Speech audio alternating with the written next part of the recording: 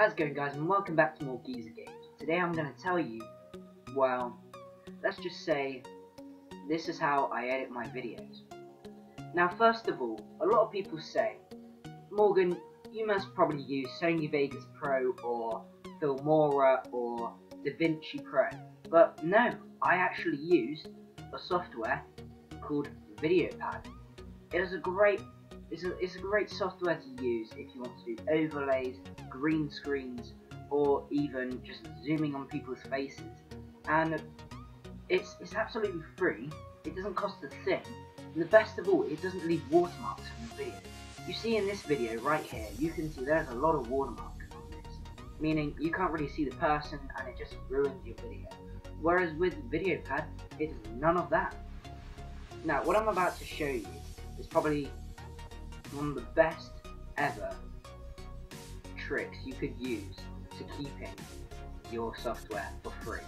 So basically what I'm going to show you is that a lot of the time when once your um, software has expired it will normally show that it says your your trial is up. Do you want to buy um, do you want to buy it now or do you want to buy the premium version or anything? Well, we're going to show you how you can prevent that. So basically, what you want to do is just go off the app. Let's say, go to um, Control Panel. Control Panel.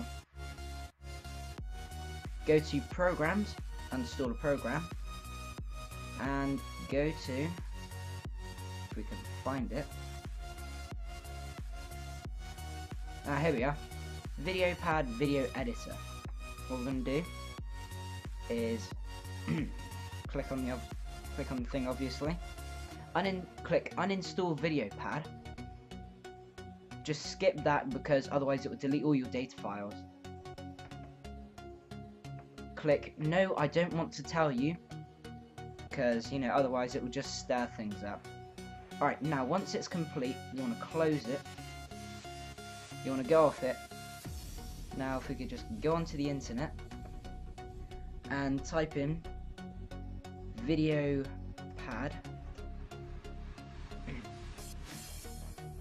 Now it's it's the first result that you come up to which says NCH software.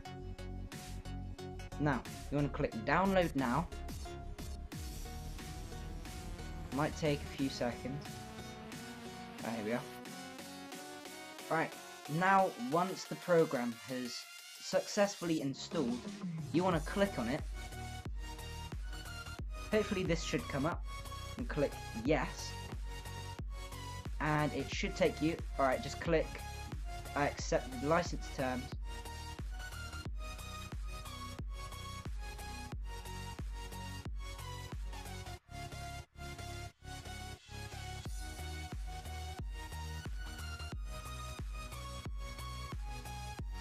That's installed. Now what you want to do do not click skip click Open Project.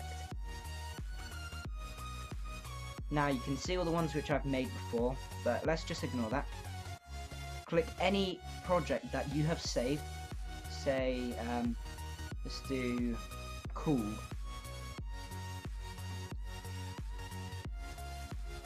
Alright, now basically this was my um, latest video that I did, but yeah, it should hopefully do this and everything, and soon if you click export video